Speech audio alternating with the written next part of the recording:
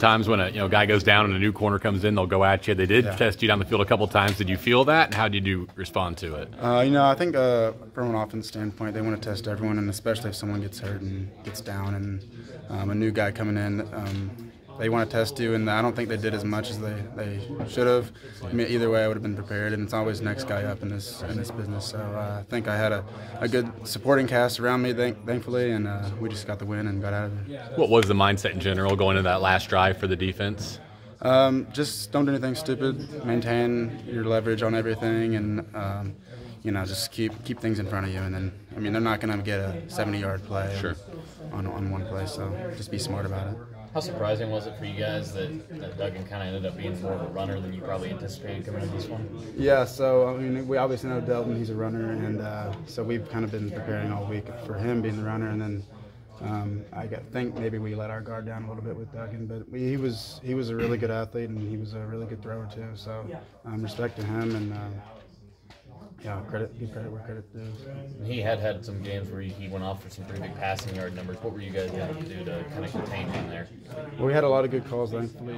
Scottie Hazelton's one of the best in the nation, I think. And, um, you know, coming back from two losses in a row, we had a different mindset and a different uh, standpoint on things to get things right and get the details right. You mentioned those losses. How big was it to get this first win in more than a month for you guys?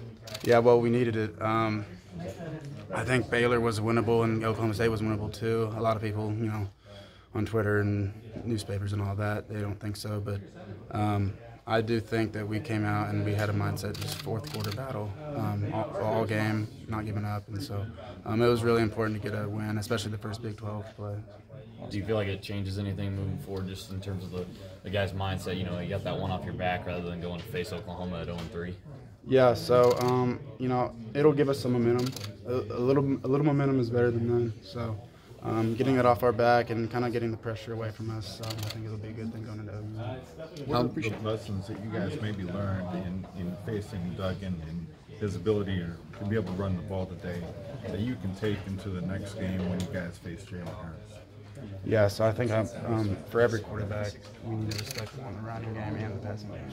Um, Jalen Hurts obviously is a great, a great player, a great runner, and even a better thrower, I think. So um, they haven't missed a beat with their quarterback going and leaving with Baker, Kyler, and, and Jalen. But um, I think it's going to be a necessity to keep him contained and do our job.